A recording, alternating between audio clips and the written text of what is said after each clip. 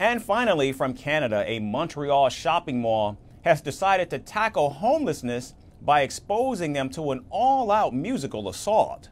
A children's nursery rhyme called Baby Shark is being played on loop, particularly in the emergency stairwells, to prevent homeless people from seeking shelter inside the mall. Now, it's a strategy so unconventional that it's left Canadians actually fuming. And as the nation faces a growing homelessness crisis, outrage is rising as some are calling the strategy psychological torture. Here's more from Montreal.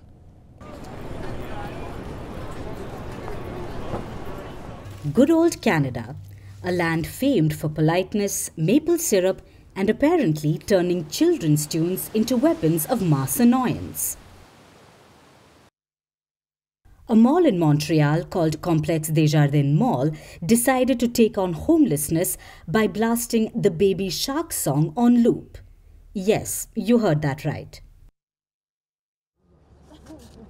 Forget about affordable housing or social programs, this mall in Montreal figured a children's earworm was the answer to a systemic crisis.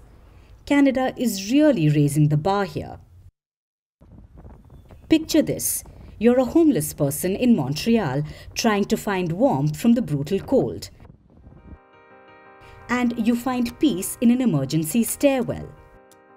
Then suddenly the baby shark song's sharp to do do to do echo pierces the air like an auditory nightmare.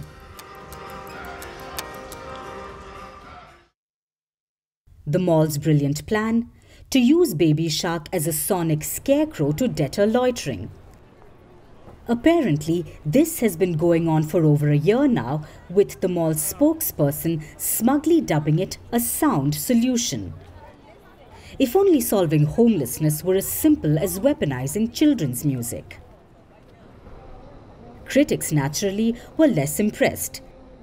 Sam Watts, the CEO of Welcome Hall Mission, called out the tactic for what it is juvenile, exclusionary, and wildly ineffective. He said, and I quote, You can't fix homelessness with nursery rhymes. Advocates for the homeless were quick to point out this so called solution is about as effective as putting a band aid on a broken leg. Social media also had its own field day with this solution. David Chapman of Resilience Montreal highlighted the real issue. Canada has steadily slashed funding for homeless shelters, leaving thousands without options. But instead of tackling the root causes, cities like Montreal prefer to mask the problem, literally drowning it out with catchy jingles. And let's not forget the irony here. Complexe Desjardins Mall sits a stone's throw from the old Brewery Mission, which is Montreal's largest homelessness support organization. It's like setting up a salad bar outside a burger joint and wondering why people are still craving fries. Apparently, Montreal isn't the only place to embrace Baby Shark as the ultimate nuisance. A shop owner in British Columbia used it to shoo people away after hours and officials in the American state of Florida even once blasted it to keep people from napping on city property. Because nothing says we care about you like deploying an endless loop of a children's nursery rhyme. This is where Canada's reputation for being nice starts to look more like passive aggression.